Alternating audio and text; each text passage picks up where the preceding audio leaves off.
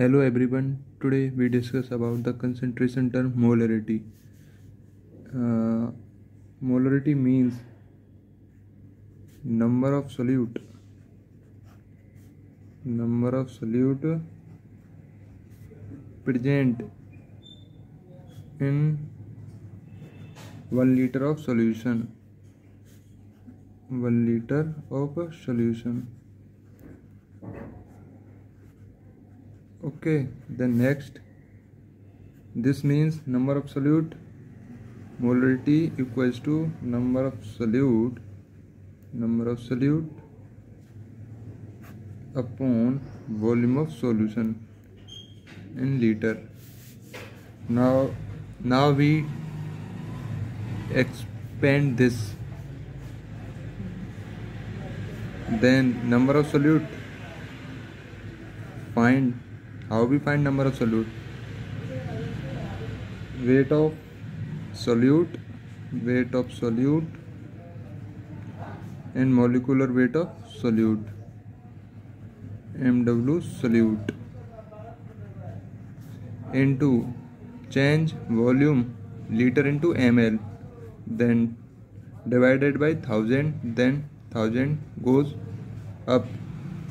1000 volume in ml this is the formula of molarity. Now take some example. Then find molarity 15 gram acetic acid is dissolved in 200 ml solution.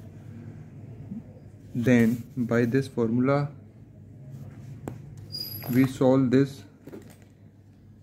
question.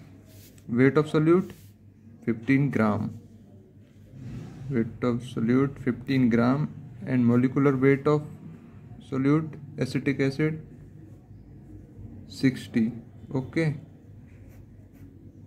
60 into 1000 1000 and volume of solution कितना